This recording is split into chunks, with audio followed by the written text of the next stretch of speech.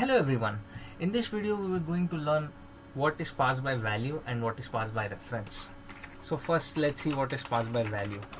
I'll create a function, name it case1 and this function will accept an argument which is of the type int and store it inside the variable number. I'll increment the number by 2 by saying number is equal to number plus 2 and then I'll just simply print out number and the address of number. Just to add we'll say in case 1 value is and number. And I'll say in case 1 address is ampersand number. So this part is clear now I'll create a variable number and assign the value 20 it call case 1 and pass number as an argument. And now I'll print the number inside main. After case 1 because case 1 has been called in main we have number and before that I'll simply print the address of number. So I'll say address of number in main ampersand number. Okay I hope this part is clear. So we should what output should we get? We are passing the number 20 and this number is incremented by 2 and then we say print number. So should we get 22 let's see. I'll run this code. And we get the output that in case the value is 22 but after case in main the value is 20 now why is that? Because what we are doing is we are passing the value of this number in this function. We should always remember that functions with arguments always create a copy of the value of the variable that is passed. So when we are passing this variable number here we get the copy of the value that is 20 so 20 is copied in this variable. These two variables are different. As we can see they have different addresses. In case one we have this address and in main we have this address. These two are different addresses. So these two are different variables and they have different scope and that's why I am able to create a variable with the same name. Because this variable is scope till here within main and this variable has the scope inside case so what is happening is that this 20 is been passed here.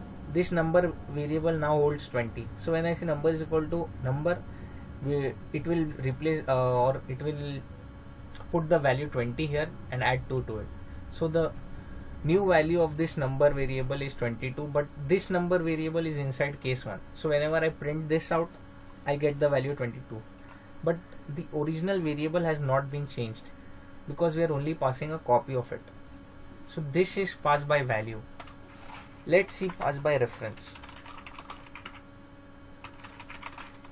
Even in this I'll say func case 2 and uh, I'll just pass the argument variable as number but this time the type is pointer to an integer. Now I cannot say number is equal to number plus 2 because now number variable holds a pointer and I cannot say that a pointer plus 2 a pointer plus integer. So I get I can I get an error message by the text editor cannot convert to untype int constant to int pointer so what I have to do is I have to say that the value of this variable would be the value plus 2 so basically I have to dereference it. Value plus value which means that if I pass the original number I get the value is 20 plus 2 and that would be the new value. And then I'll do the same which I did over here. I'll print the address and the value but in case 2 so that would be the only difference and after this I'll again go in main and call case 2 so I'll just copy this. Just change case 1 to case 2 and also one more thing I cannot pass the integer number now. I'll tell you about it. Let me change this to okay. So now case 2 accepts a pointer. And I have to pass a pointer to it which is basically the address of a variable that holds an integer because it is asterisk int. So what I have to do is simply pass ampersand number because ampersand number is a point uh, is a memory address to a variable that holds an integer. So basically the type of ampersand number is asterisk int. So this is acceptable. And now I say the address of number in main now I don't need this because this will be the same in this case. So I can keep it general above this. So the next thing is I'll say after case 2 in main the value of number. Now we'll see a change. The same thing is happening but there is a slight difference. Now when we pass this pointer the way uh, the case 2 function will copy the value of this obviously now but the value of this is an address. So what it does is copies the address of it in its number variable. And now when I say the value of it so it will do the dereferencing of that. So I'll actually go the go, go to the original memory location of my variable number which is over here. So if I say the value of number I this will be the memory location of my variable that has been passed here. So this would be the value of this number. So basically this would be a memory location and this would be the same location of this variable. And the changes are happening inside memory. You remember in our diagram we had the memory column. So this address is pointing towards that memory and we have making we are making the changes directly in memory so the changes reflect when I print number. Let's just see if it happens. So here we go. After case 2 in main we get 22 because in case 2 the value is this.